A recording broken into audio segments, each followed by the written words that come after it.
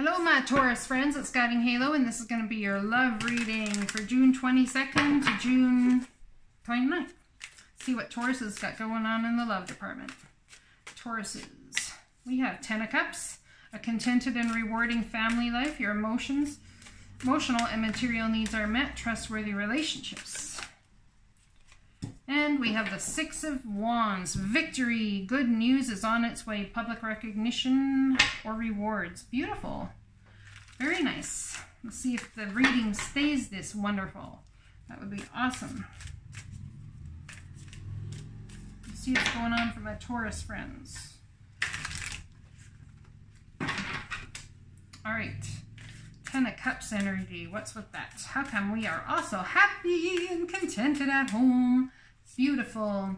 Queen of Wands, Aries, Leo, Sagittarius. Intuitive, passionate, creative, beautiful. This is kind of woman that walks down the street and people go, dang, what nice energy she has. Yeah, that's it. That's what they say.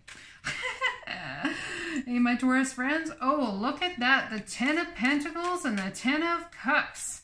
Dang, not only do you have a contented and rewarding family life, you've got abundance to boot, don't you? Very nice, my Taurus friends. I can see you've been working on your pentacles. Oh, there's that tower moment. Oh, it's going to send you into hangman mode. You're concerned about nefarious nonsense that's coming into your contented and rewarding family life. You thought this was your Ten of Cups, or are you having a hard time trusting due to a tower moment? What's this tower about, please? We have a temporary pause in action. So maybe you've not heard from someone for a little while and it's making you feel like maybe there's cheating, lying, nefarious nonsense. Maybe something happened, a tower came in and you guys are all like ready to take a leap of faith and then bam, there's that tower and you're like, okay, time to get out while the getting's good. I'm scared now. What's going on, Taurus friends?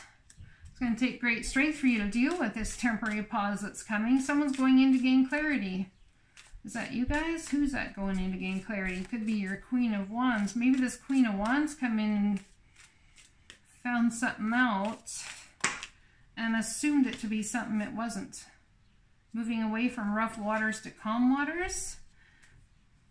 Moving away from commitment. Maybe that's what that tower is about temporary pause here in a relationship, thinking it's over, but it may not be. And we have a celebration, or maybe someone thought there was a third party situation going on. Well, we got the Wheel of Fortune coming in here, my friends.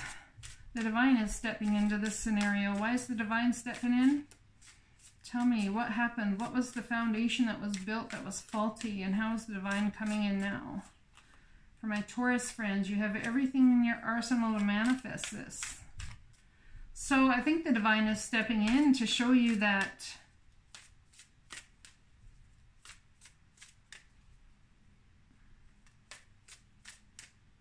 this commitment, this offer that's being offered to you that you're snubbing your nose at, it could be for the long term. You should take that leap of faith. And we have the magician here, and you should be willing to put in that hard work maybe you're just going to focus on your work and maybe the divine came into, it was like magic and all of a sudden you found out something that you didn't know what's going on.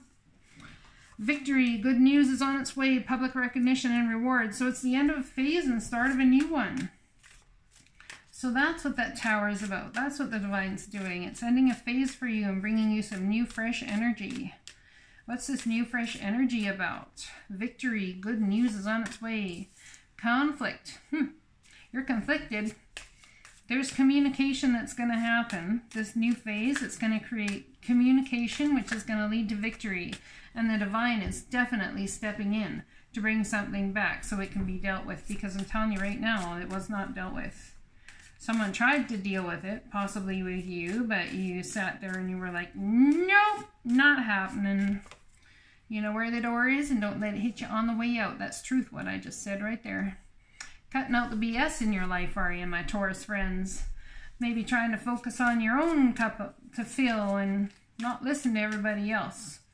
Maybe you think that's where you'll have the biggest victory.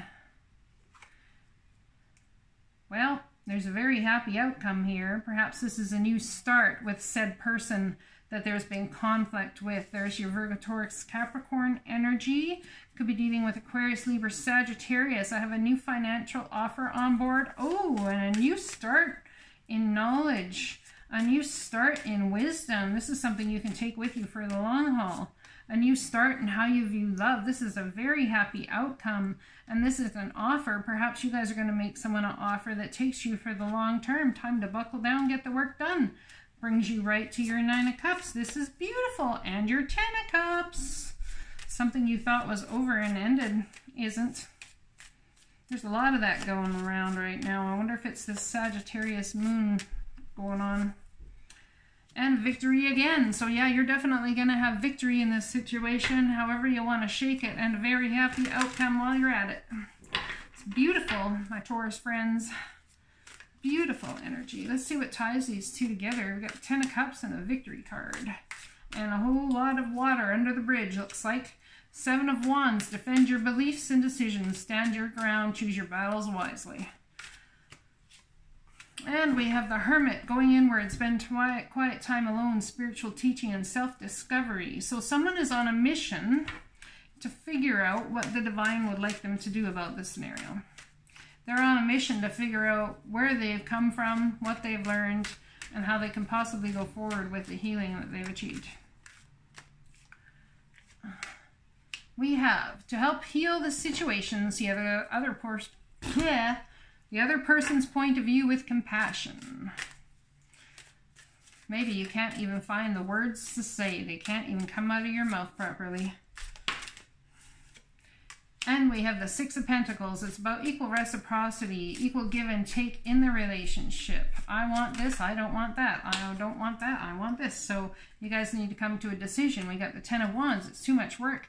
Going to put the burden down. We got the Page of Cups. Someone bringing an apology. The Sun card out again. We got a very happy outcome.